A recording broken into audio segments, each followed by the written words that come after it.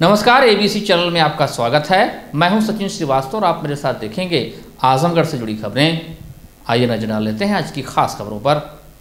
खबर के प्रायोजक हैं Niswa inter college Paharpur Azamgarh. Admission open nursery to class twelfth खुशखबरी, विद्यालय को मिली सात विषयों की मान्यता। Life style furniture Belnadi Azamgarh. सभी प्रकार के फर्नीचर एवं इलेक्ट्रॉनिक सामानों की भरपूर रेंज उपलब्ध।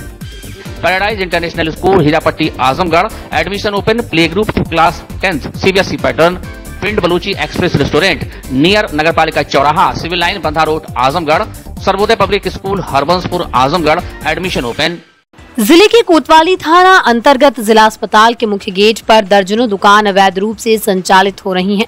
अपनी दादागिरी के बल पर यहाँ डेरा डाले दुकानदार किस तरह दबंगई पर उतारू हो चुके हैं, उसका दृश्य आपके सामने है। मंगलवार को यहाँ के ठेले के सामने बाइक खड़ी करने पर फल विक्रेता व बाइक सवार युवक में जमकर मारपीट हो गई। ठेले वालों ने बाइक सवार युवक को जमकर पीटते उसे लहूलुहान कर दिया, जिसका वीडियो भी वायरल हो चुका है।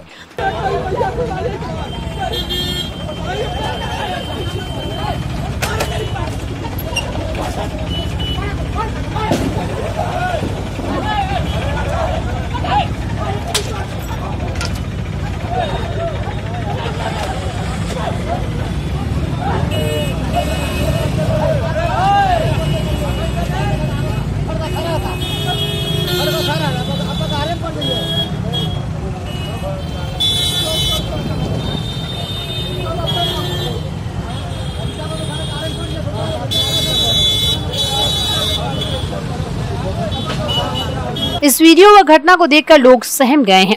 अस्पताल व जिला प्रशासन इस गुंडाराज पर अब क्या कार्रवाई करता है, ये देखने वाली बात होगी। जैसा कि आपने देखा ही कि लाठी डंडे जिसे लैस दुकानदारों ने युवक को बुरी तरह मार कर घायल कर दिया। घायल युवक ने बताया कि वो यहाँ नाश्ता करने आया था, उसकी गलती यही थी कि उसने ठेले के सामने बाइक खड़ी कर दी। यहाँ पे थोड़ा सा नाश्ता करने के लिए आया था। एक छोले भटूरे की दुकान पे।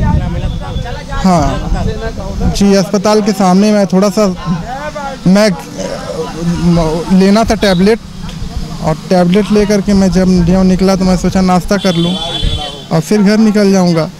नाश्ता करने गया जो गाड़ी मैंने अपनी खड़ी किया और ये लोग आ कर के जो है मुझसे झगड़ा करने लगे। विवाद करने लगे, उसके बाद आकर मेरी गाड़ी फेंकने लगे। मैं जो है झगड़ा भी नहीं कर रहा हूँ, उसके बाद भी झगड़ा करने बता रहे हैं। तो सर, मैं अकेले में इन लोग से झगड़ा करने के लिए तो आया नहीं था। मैं तो अपना जो है नाश्ता करने के लिए आया था। नाश्ता किया भी नहीं, तब तक ये लोग मुझे घायल कर दिए, मार दिए, लाठी लाठी चला दिए मेरे ऊपर।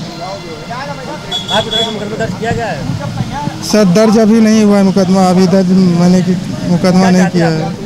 सर, मैं ये चाहता हूँ, मैं झगड़े लफड़े से बहुत दूर रहता हूँ, क्योंकि मैं परिवार वाला व्यक्ति हूँ और मैं जो है वर्क पे अपने ज़्यादातर ध्यान देता हूँ। कार्रवाई करना चाहते हैं? जी। मारे पीटे तो कार्रवाई चाहते हैं नहीं कार्रवाई तो होनी चाहिए क्योंकि आज मेरे साथ हुआ कल और भी किसी के साथ हो सकता है। मैं मैं ही नहीं हूँ मेरे सिवा और कोई भी व्यक्ति। अब रोड तो उनका है नहीं ना? रोड तो गवर्नमेंट का है सरकारी है। दबंगी है ना वो तो मतलब एक केवट हैं अपने आप को लगा लगाते हैं केवट हमें हमसे बड़ा कौन है?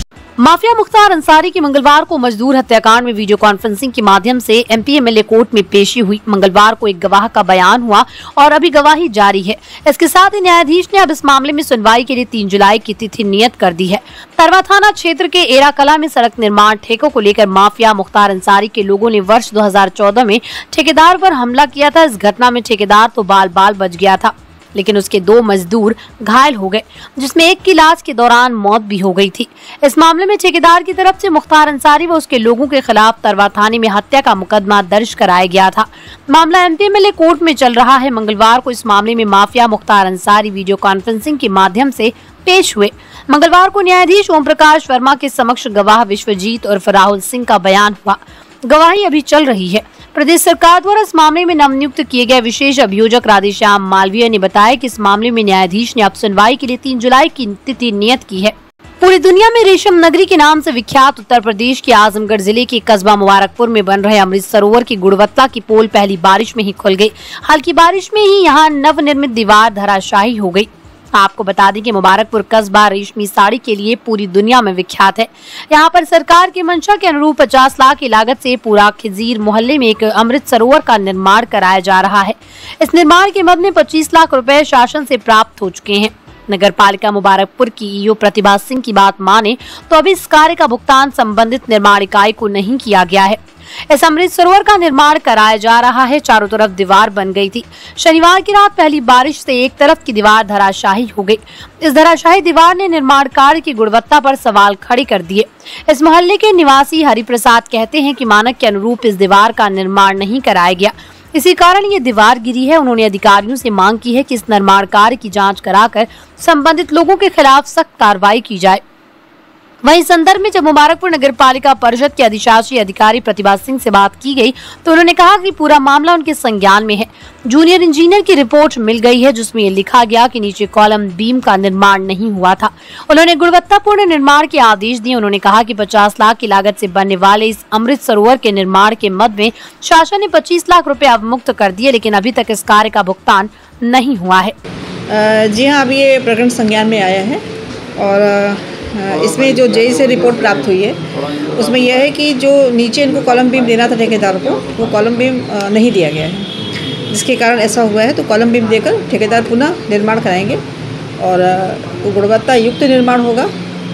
इसमें कोई भी लापरवाही अच्छा में होगी ठेकेदार की। ये कितने लोग कितनी लागत से निर्माण हो रहा है और अभी तक भुगतान हुआ है नहीं? नहीं इसमें अभी कोई भुगतान नहीं हुआ है। अभी पहली किस्त शासन से 25 लाख की प्राप्त हुई है। उसी से निर्माण कार्य चल रहा है। अभी उसमें कोई भुगतान की प्रक्रिया नहीं हुई है। लागत कितने लागत लाख की लागत से बन रहा है? ये 50 लाख की लागत से निर्माण हो रहा है। जिसमें कि पहली किस्त 25 लाख की अमुक्त हुई है। लेकिन अभी कोई पेमेंट इसमें नहीं हुआ है। ठेकेदार अभी काम कर ही रहे हैं। और मौके पर जो भी एस्टिमेट होगा एस्टिमेट के अनुसार ही मौके पर काम करेंगे। नगर सहित ज़िले के विभिन्न इलाकों में बकरीद का पर्व 29 जून को मनाया जाएगा। पर्व को लेकर जहाँ बकरा बाज़ार में जानवरों की खरीदारी में तेज़ी आ गई तो वहीं ईदगाहों, मस्जिदों में साफ़ सफ़ाई का काम भी शुरू हो गया। बाज़ार में त्योहार को लेकर कपड़े, जूते, चप्पल साज सज्जा व सिवई की दुकानों में काफ़ी भीड़ देखी गई विभिन्न बाजारों में लगी मंडियों में सैकड़ों बकरे पहुँच गए। देर शाम तक खरीद फरोख चलती रही। इसके अलावा बाजारों में सिवैया सहित विभिन्न खाद्य सामग्रियों खरीद होने से बाजारों में गहमा गहमी रही। मुसलमानों के खास त्योहारों में से एक ईद उल अजहा, यानी बकरीद के पर्व को कुर्बानी का पर्व कहा जाता है। इस दिन धार्मिक परिवार अपने घर में कुर्बानी देते हैं। यूँ तो इस दिन मुख्य रूप से दुम्बे की कुर्बानी दी जाती है, लेकिन इसके महँगे होने की वजह से बकरे की कुर्बानी देते हैं। पर्व को लेकर जगह जगह बकरा बाज़ार सज गया। इस बार बकरे के बाज़ार पर भी महँगाई का असर साफ़ दिख रहा है। बकरों को खिलाना, पिलाना, देखभाल, इलाज और ट्रांसपोर्टेशन आदि महँगा हुआ। इस हिसाब से रेट भी बढ़ गए। दो साल पहले जो बकरा दस हज़ार रूपए में बिकता था, उसका दाम अब सोलह से अठारह हज़ार रूपए पहुँच गया। नगर के बदरका क्षेत्र स्थित करबला मैदान में सजी बकरा मंडी में इस बार अस्सी हज़ार तक के बकरे बिकने आए हुए थे। ये बकरीद का त्यौहार है और इसमें बकरे की डुम्बे की कुर्बानी की जाती है। कुर्बानी करने से सवाब मिलता है और ये परंपरा एक ज़माने से चली आ रही है।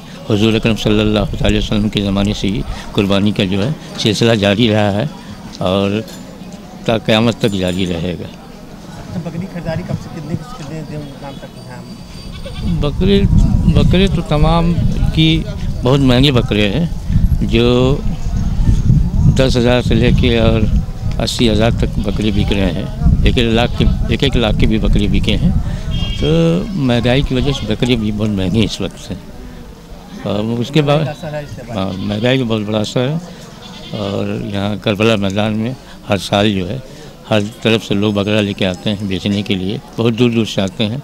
और मेरा ख्याल है कि कई इस गाँव के और शहर के तमाम लोग खरीदने के लिए यहाँ आते हैं।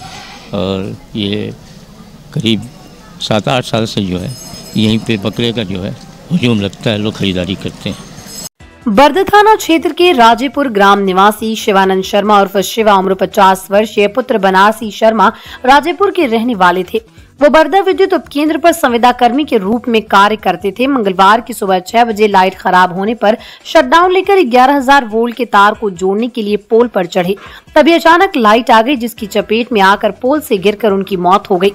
मौके पर जुटे ग्रामीण विद्युत विभाग के अधिकारियों को मौके पर बुलाने पर अड़ गए। शिवानंद लगभग 15 साल से बरदा सब स्टेशन में काम करता था। शिवा मंगलवार की सुबह अपने ही ग्राम में राजेपुर पोल पर फ्यूज बाँध रहा था और शटडाउन लिया हुआ था।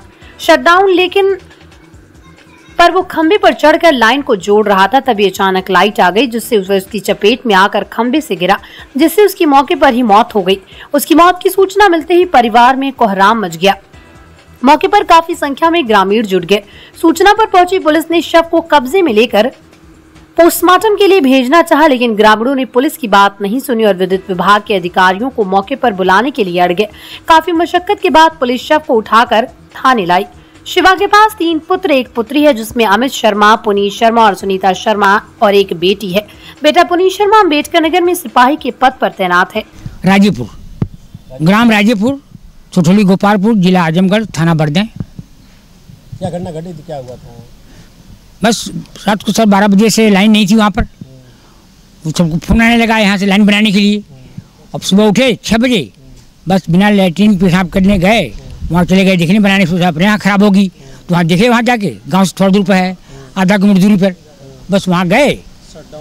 सेट डाउन ट्रेन से डाउन लिए चढ़ गए ऊपर। बनाने के लिए। जब बनाने के चढ़ गए वहाँ पर तो बनाए वहाँ पर। फिर सिट डाउन के लिए उन्होंने कहा होगा कि नहीं कहा बिना कहे। लाइन आ गई वहाँ पर। बस एक बैग गिरे एक आवाज़ दिए।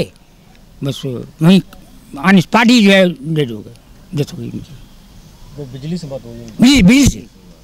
बिजली आ गई तुरंत। तुरंत आ गई तुरंत ऑन स्पॉट हो गई उसी में पहले लटक गए। जब खून चूस लिया उसने तब गिर गए। लोग दूर वाले बता रहे हैं कि एक आवाज़ आई पहले खंभे पर लटक गए उसी तार में फंस गए। अपने आप गिरा दी उसने। तो बिजली विभाग की लापरवाही अभी ले पड़ी यही है अब कोई सिट डाउन लिए हैं तो क्या है आप लोग क्या चाहते हैं? कुछ कार्रवाई हो आप लोग क्यों कार्रवाई करते हैं? हाँ थाने गए थे वहाँ पर बढ़ जाए अपने थाने में। वहाँ रिपोर्ट लिखी गई एफ़ हुआ पंचनामा हुआ तो लास्ट यहाँ पोस्टमार्टम के लिए यहाँ लेके आ रहे हैं। इस्लामी कैलेंडर का आखिरी महीना और मुस्लिम भाइयों का दूसरा सबसे बड़ा त्योहार बकरीद 29 जून से शुरू होगा। ज़िले भर के मुस्लिम भाई अभी से ही तैयारी में लग गए। त्योहार को लेकर बाजारों में भी चहल पहल तेज हो गई। हर जगह मस्जिद, ईदगाह, मजार घर व अन्य जगहों की सफ़ाई का काम शुरू हो गया। बकरा बाजारों पर भी लोगों की भीड़ उमड़ने लगी है। लोगों के साथ साथ प्रशासन भी पर्व को सक्षम निपटाने में जुट गया है। इसी क्रम में जिलाधिकारी विशाल भारद्वाज ने अधिकारियों को निर्देश दिया कि शहरी ग्रामीण क्षेत्रों में मस्जिद ईदगाह एवं आसपास के क्षेत्रों की साफ़ सफ़ाई सुनिश्चित की जाए। पुलिस अधीक्षक अनुराग आर्य ने कहा कि शासन का स्पष्ट निर्देश है कि पर्व का आयोजन परंपरागत तरीके से ही किया जाए। उन्होंने कहा कि गाँव, देहात, मोहल्ले में किसी नई परंपरा की शुरुआत नहीं होनी चाहिए। सार्वजनिक स्थानों पर कुर्बानी किसी भी दशा में नहीं होनी चाहिए। उन्होंने कहा कि ऊँट एवं किसी भी प्रतिबंधित जानवर की कुर्बानी किसी भी दशा में नहीं की जाएगी। उन्होंने कहा कि कानून व्यवस्था से कोई समझौता नहीं किया जाएगा। उन्होंने कहा कि शिकायत मिलने पर कठोर कार्रवाई की जाएगी। उन्होंने कहा कि यदि कोई समस्या हो तो डायल 112 पर सूचना दे। उन्होंने कहा कि सड़क पर किसी भी प्रकार के धार्मिक आयोजन नहीं होने चाहिए। उनतीस तारीख को बकरीद का जो त्यौहार है, उसको लेकर पूरे जनपद में पीस कमेटी की बैठकें अलग अलग स्तर पे, चौकी के स्तर पे, थाने के स्तर पे, रजिस्टर्ड अधिकारियों के स्तर पे की जा चुकी है। जिला स्तर पर भी बैठक की जा चुकी है। सभी को बता दिया गया है कि जो परंपरागत आयोजन है, सिर्फ़ वही अलाउ किए जाएँगे। जो प्रतिबंधित पशु हैं, उनकी कुर्बानी किसी भी दशा में अलाउ नहीं की जाएगी। इस बात पर सब लोगों ने सहमति भी जताई है।